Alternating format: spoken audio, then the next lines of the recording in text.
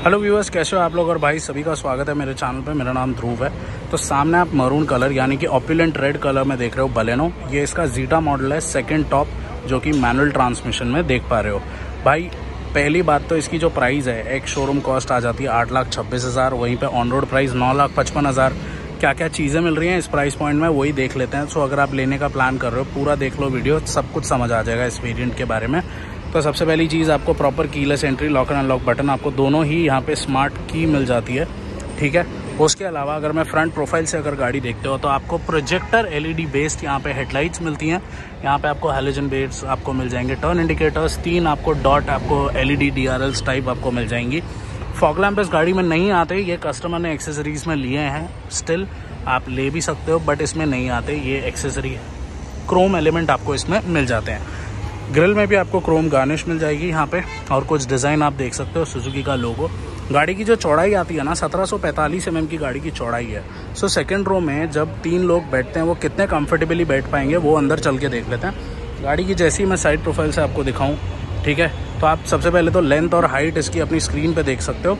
उसके बाद आ जाते हैं यहाँ पे व्हील्स पे। तो ये 16 इंच के व्हील्स हैं, जो आपको अलॉय व्हील्स मिलते हैं सिल्वर कलर में। और इनकी प्रोफ़ाइल है 195 55 आर 16 इंच तो आगे आपको डिस्क ब्रेक मिल जाता है। ऑल्सो 170 एम mm का भाई गाड़ी में ग्राउंड क्लियरेंस मिलेगा। इलेक्ट्रॉनिकली एडजस्टेबल और रिट्रैक्टेबल ओ मिलेंगे। फुली इलेक्ट्रिकल हैं। एलईडी टर्न इंडिकेटर भी यहीं मिल जाता है। यहाँ पे विंडो लाइन में आपको क्रोम एलिमेंट मिल जाता है, जो कि काफ़ी अच्छा लगता है। यहाँ पे आपको बी पिलर मैट ब्लैक में मिल जाएँगे। विंडो वाइजर एक्सेसरीज है। नीचे ये क्रोम गार्निश आप देख पा रहे हो। ये भी एक्सेसरीज यहाँ पे मिलता है और ये डोर एज गार्ड हालाँकि जो डोर हैंडल्स हैं, ये आपको क्रोम में ही मिलते हैं इस गाड़ी में। पैसिव रिक्वेस्ट सेंसर ड्राइवर और पैसेंजर दोनों साइड पे आपको ये चीज़ मिल जाती है। उसके अलावा, गाड़ी की अगर मैं रेयर प्रोफ़ाइल चेकआउट कराऊँ तो ये कुछ ऐसे रेयर प्रोफ़ाइल से दिखती है। बाय द वे ये अल्फ़ा मॉडल है, जो इसके जस्ट ऊपर आता है। ये जीटा मॉडल है तो फ़र्क आप देख लो अलॉइज़ में ये चीज़ों का है। उसके बाद, आपको high mount stop lamp regular antenna मिलता है, कोई भी शार्कफन एंटेना नहीं आता। यहाँ पे ready foggers rear washing wiper यहाँ पे आपको रिवर्स पार्किंग कैमरा मिल जाता है, इधर नीचे की तरफ़, और सुजुकी का लोगो बलेनो की ब्रांडिंग इस टेल लैम्प्स में आपको एलईडी ट्रीटमेंट यहाँ पे आप देख सकते हो, तीन बल्ब मिल जाता है स्टॉप लाइट आपके ऊपर प्रॉपर आ जाती है। हालाँकि जो टर्न इंडिकेटर्स और रिवर्स लाइट है, वो आपको हेलोजन में मिल जाएँगे। गाड़ी में पीछे चार अल्ट्रासोनिक पार्किंग सेंसर्स आपको दिए जा रहे हैं। बूट की अगर मैं बात करूँ 318 लीटर का बूट स्पेस आपको इसमें बलेनो में मिलता है। बूट लगेज लैम्प यहाँ पे भाई, यहाँ पे मिल जाते हैं ग्रॉसरी हुक एक ही साइड पे मिलता है ग्रॉसरी हुक सीट जो है 60 40 स्प्लिट है पार्शल ट्रे आपको मिल जाएगी। ये तो एक्सेसरी है पक्का। इसके नीचे फैब्रिक मैट देती है कंपनी और जस्ट उसके नीचे आपको स्पेयर व्हील आपको स्टील रिम में मिलता है यहाँ पे।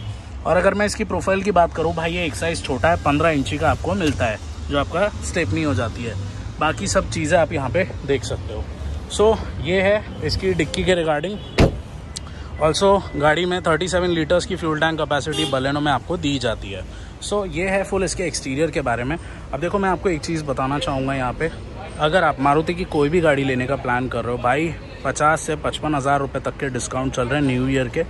बाद में प्राइसिंग इंक्रीज़ हो जाएगी। सो अगर आप मुंबई, थाने, पनवेल, कहीं से भी आसपास से हो, यहाँ कांटेक्ट कर लो, आपको सारी डिटेल्स मिल जाएँगी रिगार्डिंग जो भी ऑफर्स चल रहे हैं। प्लीज़ इन नंबर्स पे कांटेक्ट याद से कर लेना। फ़ायदे की बात है सिंपल मैं इतना बता रहा हूँ। अब इंटीरियर से मैं पहले तो इस गाड़ी के म्यूज़िक सिस्टम को बंद कर लेते हैं यहाँ पे।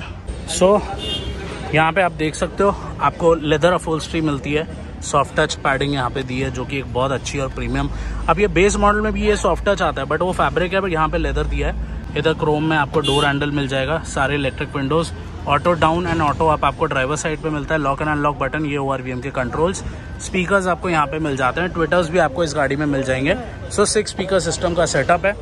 उसके बाद अगर मैं सीट की बात करूँ, देखो एडजस्टेबल हेडरेस्ट आपको गाड़ी में फ्रंट में और रेयर दोनों में मिलेंगे। हालाँकि फैब्रिक अफोल्स्ट्री दी है इस प्राइस पॉइंट में, कहीं ना कहीं थोड़ा पार्शल लेदर देते वो भी अच्छा रहता। यहाँ पे आपको हाइट एडजस्टेबल फीचर मिलता है। ऑल्सो एयरबैग्स की आप देख सकते हो। भाई इस गाड़ी में ना छः एयरबैग्स आते हैं, जो कि एक बहुत ही बड़ा प्लस पॉइंट है, क्योंकि इस प्राइस पॉइंट में सिक्स एयरबैग्स देना, ये एक बहुत अच्छी चीज़ है मारुति की तरफ़ से। देन उसके बाद ये हैं इसके कुछ इंटीरियर्स अच्छे और प्रीमियम लगता है अगर आप पिछले बलेनों से इसको कंपेयर करते हो, जैसे कि फ्लैट आउट डैशबोर्ड मिल जाता है देन फ्लोटिंग आपका इंफरटेनमेंट सिस्टम यहाँ पे आ जाता है। उसके अलावा स्टेयरिंग व्हील से स्टार्ट करते हैं तो फ्लैट बॉटम स्टेयरिंग व्हील यानी कि डी का steering wheel audio mounted controls आपको मिल रहे हैं। और इस स्टेयरिंग व्हील की अगर मैं बात करूँ, भाई टेलीस्कोपिक स्टेयरिंग व्हील आपको यहाँ पर मिलता है, जो कि भाई बहुत सही चीज़ है। Height adjustable driving seat steering wheel telescopic है तो मल्टीपल तरीके के लोग इसको चला सकते हैं अपने एडजस्टमेंट या रिक्वायरमेंट के हिसाब से। उसके अलावा फॉगलैम जो इंस्टॉल किया है कंपनी ने उसका स्विच यहाँ पे दिया है हेडलाइट लेवलर ये है आपका आइडियल स्टार्ट स्टॉप और यहाँ पे आपको मिल जाता है इंजन स्टार्ट स्टॉप बटन उसके अलावा ये ए सी वेंस के अराउंड थोड़ा black piano finish silver element जो ये, जो यहाँ तक जा रहा है, ये थोड़ा प्रीमियम बना रहा है कैबिन को और अच्छा लग रहा है दिखने में फीका फीका नहीं लग रहा है। अगर आप ध्यान से देखते हो ब्लैक सिल्वर डार्क ब्लू या नेवी ब्लू जिसे कहते हैं, और ये इंटीरियर्स यहाँ तक हैं। तो ये चीज़ें अच्छी लग रही हैं। अब है ना, बात करते हैं इसके इंस्ट्रूमेंट क्लस्टर के बारे में, ठीक है? ये है इसका analogue plus digital instrument cluster tachometer यहाँ पे है स्पीडोमीटर यहाँ पे है एनालॉग में। ये इसका टेम्परेचर गेज एनालॉग में और फ्यूल गेज एनालॉग में ये रहा। बीच में एक एमआईडी है और सारी वार्निंग लाइट्स भी आप देख पा रहे होंगे ठीक से। अब इस एमआईडी में क्या क्या मिल जाता है? जैसे कि ऊपर टाइम है, यहाँ टेम्परेचर है, यहाँ ऑडोमीटर रीडिंग है। उसके अलावा और क्या क्या चीज़ें मिलती हैं इसमें तो वो चेकआउट करते हैं। तो यहाँ पे आप देख सकते हो एवरेज फ्यूल इकोनॉमी आपको मिल जाएगी रेंज आपको मिल जाएगी।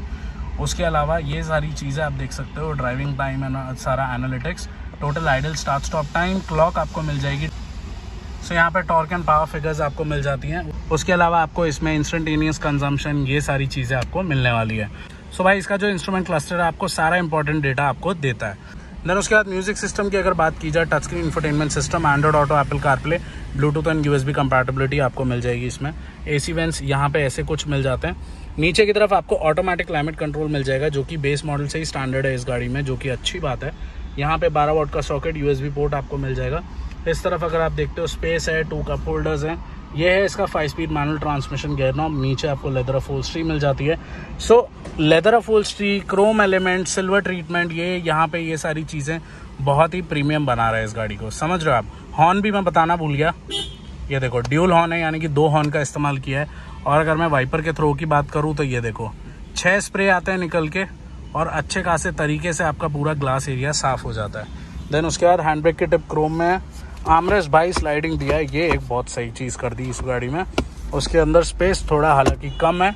ऊपर यहाँ पे अगर आप देखते हो तो हालाँकि कोई टिकट होल्डर इस तरफ़ तो नहीं दिया है। कैबिन लाइट्स आपकी दो येलो कलर में यहाँ पे दी हैं और एक आपकी हेलोजन यहाँ पे दी है। सो भाई, बहुत अच्छी चीज़ है। बहुत सारी ब्रांड्स कॉस्ट कटिंग करती हैं। सिर्फ़ एक छोटी सी यहाँ दे देंगे, आगे की तरफ़ सेंटर में भी नहीं देते। बट तो सेंटर में भी आगे तो लाइट की कोई कमी नहीं है इसके कैबिन में। आर वी मैनुअली आपको यहाँ पे मिल जाता है आपको। उसके बाद आपको यहाँ पे वैनिटी मिरर मिल जाएगा। ग्लव बॉक्स की बात करूँ तो ठीक है अच्छा बड़ा साइज़ का ग्लव बॉक्स है, गाड़ी के साइज़ के हिसाब से। सेफ्टी फीचर्स की बात करते हैं तो ओवर स्पीड वार्निंग मिलती है 80 की स्पीड पे सिंगल बीप एंड 120 की स्पीड पे कंटिन्यूसली बीप होता है। उसके अलावा आपको इस गाड़ी में सिक्स एयरबैग्स मिल जाते हैं एबीएस ईबीडी ब्रेक असिस्ट आपको इसमें दिया जाता है। देन उसके बाद लॉक इन सिक्योरिटी में engine immobiliser central locking speed sensing door lock और चाइल्ड सेफ्टी लॉक जैसे फीचर्स आपको इस गाड़ी में ऑफ़र करे जाते हैं। सो so भाई, यही है इस गाड़ी का फ्रंट कैबिन अब रेयर कैबिन चेकआउट करते हैं, ठीक है? और ऑल्सो कंफर्ट भी अच्छा है सीट की कुशनिंग ना ज़्यादा हार्ड है, ना ज़्यादा सॉफ्ट है तो अच्छी है सीट की कुशनिंग ठीक है? इतना कोई दिक्कत नहीं होगा। और गाड़ी है ना, काफ़ी प्लांटेड लगती है, ठीक है? रोड को एकदम पकड़ के ऐसे चलती है स्टेबिलिटी भी यहाँ पे आपको मिलेगी और काफ़ी मज़ा आएगा आपको इस गाड़ी को चलाने में, थोड़ा कॉन्फिडेंस अच्छा देती है। अब पीछे का कैबिन चेकआउट करते हैं और फिर इंजन एंड माइलेज के रिगार्डिंग बात कर लेंगे ओके तो ये मैं अपनी ड्राइविंग पोजीशन के हिसाब से सीट एडजस्ट कर लेता हूँ। यस ये हो गई। अब पीछे चेकआउट कर लेते हैं एक बार। सो देखो, यहाँ भी स्पीकर्स हैं। हालाँकि कोई ट्विटर्स पीछे नहीं है। ये आपके हो गए। सॉफ्ट कुशनिंग यहाँ भी है। कोई कॉस्ट कटिंग नहीं की। यहाँ पे आपके आप विंडो कंट्रोल्स आ जाते हैं।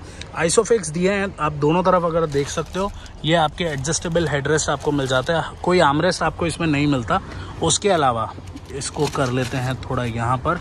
यहाँ पे सीट वही आपकी फैब्रिक में आ जाती है। अच्छी चीज़ ये है कि आपको यहाँ पे रेयर एसी वेंट्स और नीचे आपको यूएसबी पोर्ट और सी पोर्ट दोनों दिए हैं। सो दो ऑप्शन मिल जाते हैं पीछे वाले को चार्ज करने के लिए। अब अगर मैं यहाँ पे बैठ के दिखाऊँ, ये देखो। ये जो आगे वाली सीट है, मेरी हाइट के अकॉर्डिंगली मैंने एडजस्ट की थी। अब देखो नी रूम भाई, गजब का नी रूम लेग रूम बहुत अच्छा है इस गाड़ी में, ठीक है? उसके अलावा हेडरूम से कोई प्रॉब्लम नहीं है। यहाँ पे retractable handle bar coat hook के साथ है। ये सारी चीज़ें एंड ऑल्सो क्वार्टर ग्लास भी यहाँ पे दिया है। ठीक है? सो भाई, ये है फुल इसके रेयर कैबिन के रिगार्डिंग अब इंजन की अगर मैं बात करूँ, इसमें 1.2 लीटर का फोर सिलेंडर आपको पेट्रोल इंजन दिया जाता है। 88 bhp और 113 newton metres of torque produce करता है। माइलेज की अगर मैं बात करूँ 22.3 का कंपनी क्लेम करती है यहाँ पे माइलेज। ये गाड़ी सीएनजी में भी आती है आप उसके लिए भी जा सकते हो बट स्टिल प्राइसिंग डिफरेंस काफ़ी हो जाता है। सो so, दोस्तों इस प्राइस पॉइंट में सबसे अच्छी बात ऑटोमेटिक क्लाइमेट कंट्रोल वो सारी चीज़ें प्लस आपको जो लेदर सॉफ्ट टच फिनिश आपको अक्रॉस द कार दिया है height adjustable then telescopic steering wheel ये सारी चीज़ें हैं ना इसको अच्छा बूट स्पेस देन 170 सौ mm का ग्राउंड क्लियरेंस तो ये सारी चीज़ें हालाँकि थोड़ी सेफ्टी रेटिंग में थोड़ा कम हो जाती है जब आप इसको टाटा अल्ट्रॉस से कंपेयर करते हो। तो आप उस तरफ़ भी एक बार देख सकते हो। सो आपको गाड़ी कैसी लगी कमेंट सेक्शन में बताओ। कुछ भी सवाल है पूछ सकते हो। नहीं तो भाई बेस्ट है इंस्टाग्राम पे कनेक्ट कर लो। डिटेल शोरूम की मैंने दी है डिस्क्रिप्शन में, वो भी चेकआउट कर लो। So bye guys take care and see you next time